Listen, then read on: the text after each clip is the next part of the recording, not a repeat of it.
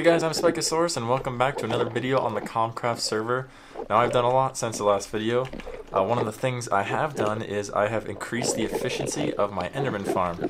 And by that I have made it so these guys drop, their, the tunnel that they drop is a lot further. Just so far as in, it goes to the last block that they will survive. Um, before it was up here. And now it's extended all the way to here. And I have this water, this doorway, because I'm not quite finished um, with the outside, but I'm pretty close to being finished it, and I'll close it off, and it'll look like this. But the cool thing is, so basically these guys die with one hit. Um, but if I want to use a sword, I can, I can just be like, get these guys, and boom. Um, super quick. I can go levels in experience just way much, way faster. And uh, I just liked, I like the design we got going in here. It's pretty cool. And yeah, the water prevents the Enderman from um, spawning on top as well as um, exporting out, as well as teleporting out. And same thing with, I have a, uh, do I have the Elytra I'm pretty sure I could fly up there and show you, which I will do. I'll show you what I did up top to prevent some of that. Um, here we go. Oh, almost hit my head on the thingy. So, um, the Enderbug thing. Enderbug? Jesus, Endermite. That's what it's called um, hit the roof. Um, Endermen were sort of like going here or spawning on the roof, so I covered it with water. And it doesn't even have to be great. It just has to make sure every block up here is has water, so the Endermen don't go there, or if they do, they just instantly um, come back here, and then they chase the Endermite, and then they fall down the hole, and then they end up right here, and then I hit them with this, and just get them all at once, and get the experience. Now, right now, oh, um, now, here, now to part two of our, our updated, um, of the update. I've been doing a lot of enchanting. I got mending on the elytra from the mending villager that we found.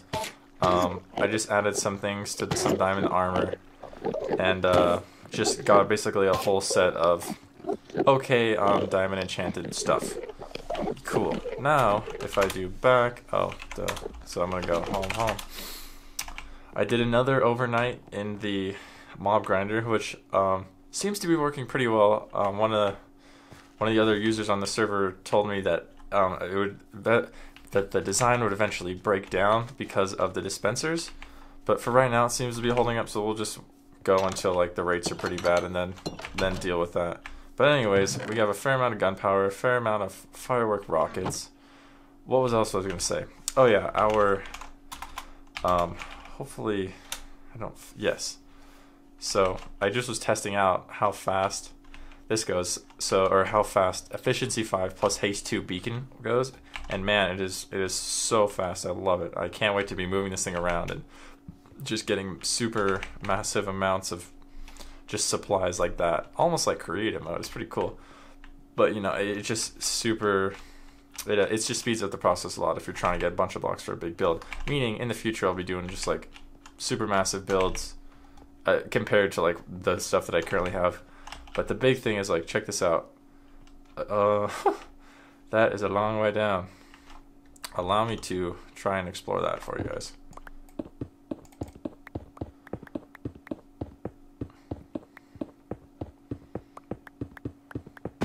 Oh, okay. So you probably can't tell. I don't think I can even do. Oh, what are we on with? Oh, I don't have any feathers. Ah, great.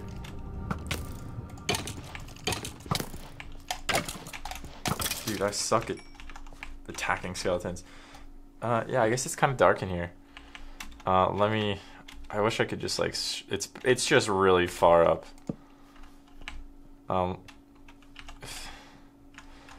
It's basically goes up to that that layer of white, um, what is it called? Hardened clay, white hardened clay. Just goes up to that, and it took me a very short amount of time to cover this much, um, to take out this much cobblestone. And that being said, we now have lots of cobble that we can make into stone, which that will be happening shortly, as well as we got a lot of gold. Um, and gold would probably be useful for I don't know, enchant like uh, and not enchantments, but um, potions like brewing for like a glistening melon or something like that. So we have a fair amount of gold, and this is all the gold that we got from that one block of that one area that we just I just showed you, as well as this iron. Um, also, a um, one of the warps is a mall that I can that players can, you know, buy stuff, sell stuff. Well, actually, I don't know if they can sell stuff, but they can buy stuff. So I bought a bunch of diamonds and a bunch of coal from some of the users in the shop, and I was able to trade those things to villagers to get emeralds, and then trade the emeralds to this guy, which has mending. So that way I was able to put mending on the elytra, and I think that's the only other thing. I think I put it on. I think I. I put it on something else too. It was the pick. No, the pick already. Yeah, the, it was the pick. I put on the pick. So now you know when I go to my uh, Enderman farm, you hold this in your right hand, so that'll be taking experience um, to repair it. The the elytra will be repairing, and then eventually I'll have a mending sword, so everything repairs within like a very short amount of time. But I, I don't have an a mending sword yet, but we're close. We're close because I need 39 emeralds, and I I think I have like 15. I think I have like half the required amount. The the mending villager that was just to the right uh, needs 39 emeralds and we have a good amount. Um, I don't have any arrows, but man, we have so many ender pearls that I could just be selling. I could just be selling them for like a dollar each, and that would be cool. I just want to test out some, some. How far can I get that? Can I get this guy to shoot? Yep. Oh man. Okay. Nice. The the thing I need is like projectile protection because zombies never kill me creepers never kill me, spiders never kill me. It's always just skeletons just sniping me out of the dark. And uh, my armor doesn't normally have projectile protection. Um, does this back off? But anyways, I'm gonna go hop in the bed, make it daytime, and we are gonna get to building our first little uh, mini project. I guess not our first, but like now that we have efficiency five and haste two, it's gonna be first thing with like cool materials aka hardened clay. Wait, I could just go like this. And that will be our enchanting room. So I believe that last episode I showed that I had put an enchantment table up on the top of this hill. Yeah, yeah, I'm pretty sure I did that. Um, but one of the things you'll notice is I don't have a path up to the enchantment um, building that we're gonna we're gonna make right now. So that's definitely a future thing. And I also added the four blocks of bookshelves that I needed to get max level enchantments on items in the enchantment table. Now, I have gotten several blocks. Nothing, really, honestly, not a lot of blocks. Um, let me just make these smooth and just kind of get get going on a design. I have not planned anything out. I do know I want the door to be centered on this enchantment room, and I know I just want it to be a little bit wider than here possibly some armor stands and item frames with um, enchanted items, you know, just decorative type things. So I think I will start off by clearing just some of this uh, some of this dirt out of the way. I went a little overkill on the radius just because I don't know how big I want this building to be, but I'm going to start by picking out what I want the floor around the enchantment table to look like. And I think red would be like a cool um, I don't know, carpet color seems to make sense to me. Yeah, that just seems it seems nice. Um, the question is, do I want this to be red, and then that to be? Um, oh wow, that was that was that was quick.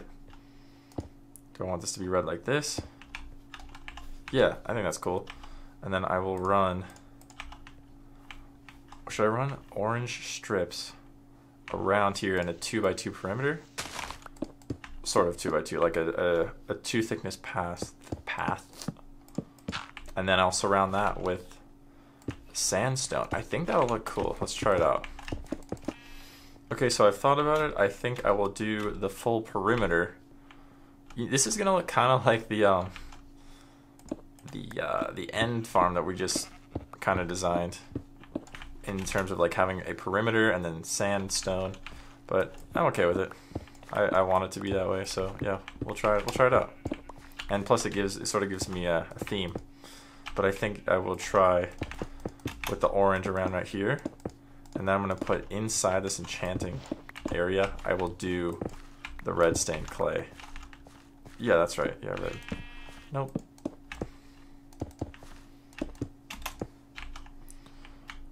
And then now we now we ask, do we want this to continue in there?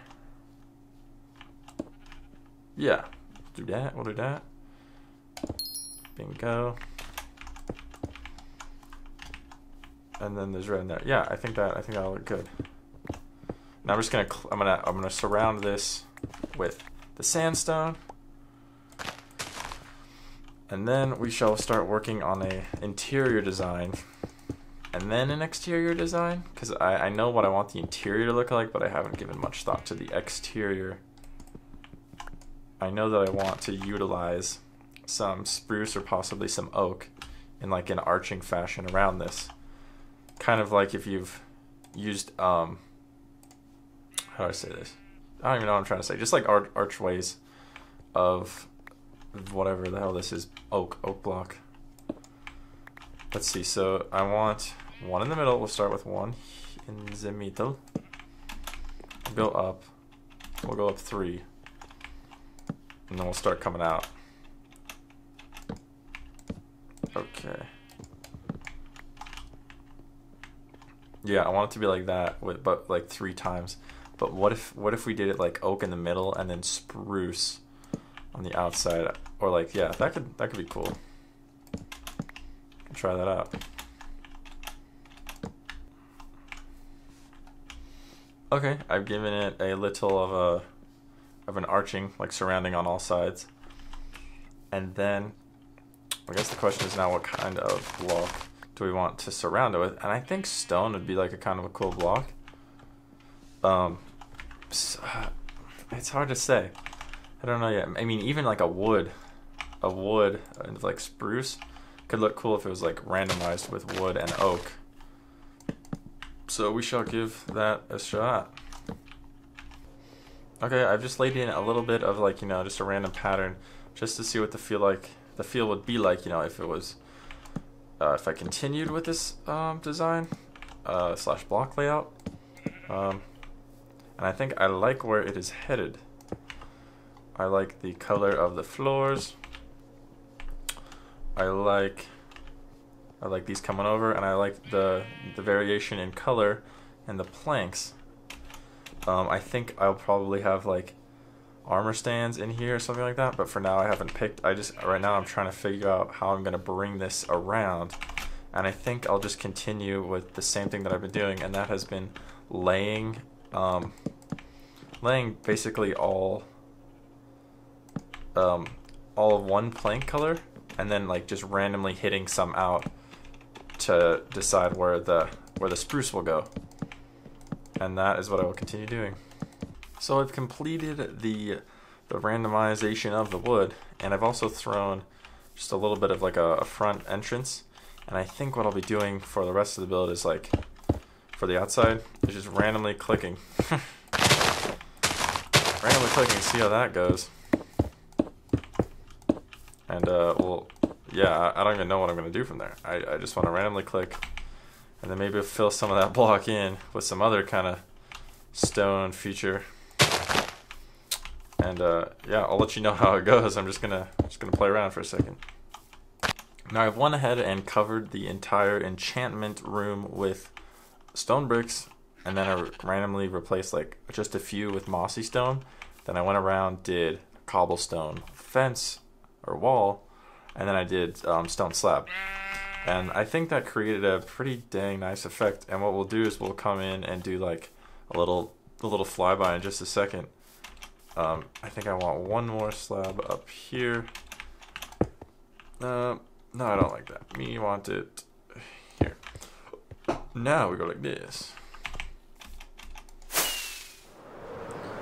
We'll do like a cool little swoop in. Yeah, that looks pretty cool, I think.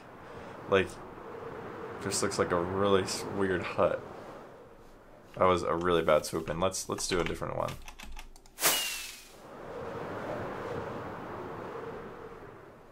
You know what? We'll, we'll start from here. We'll do like a nice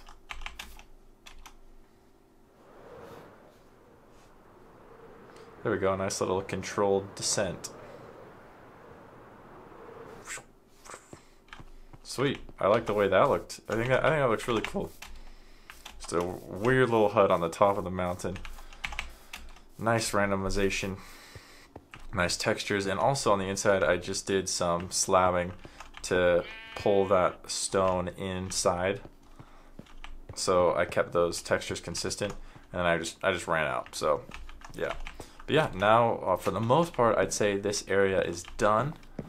Um, at least the outside. I may do a little bit more inside inside to make it look cool, and then but but I really like the way that the outside looks.